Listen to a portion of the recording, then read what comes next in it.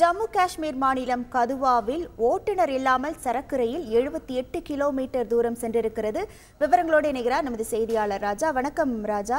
மிகவும் வேகமாக ஓடக்கூடிய காட்சிகளை நம்மால் பார்க்க முடிகிறது. எங்கே எப்பொழுது இந்த ஓட்டுநர் இல்லாமல் சென்ற சரக்கு ரயில் நிறுத்தப்பட்டது? இதனால் ஏதேனும் பாதிப்புகள் ஏற்பட்டதா? விவரங்களை.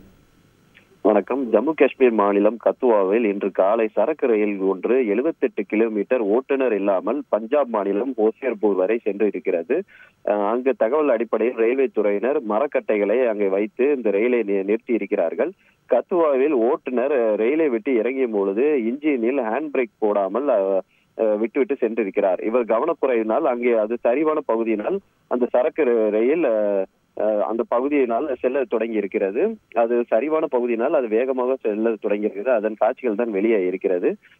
சரக்கு ரயில் என்பதனால் அதிர்ஷ்டவசமாக உயிரிழப்புகள் எதுவும் இல்லை. பயணிகள் ரயில் இருந்தால் ரயில் எங்கேயோ மோதி இருந்து விபத்துகள் அதிக அளவில் ஏற்பட்டிருக்கும். சரக்கு ரயில் என்பதனால் விபத்துகள் தவிர்க்கப்பட்டிருக்கிறது.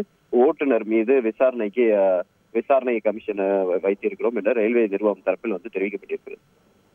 உங்கள் முழு விவரங்களுக்கு நன்றி ராஜா.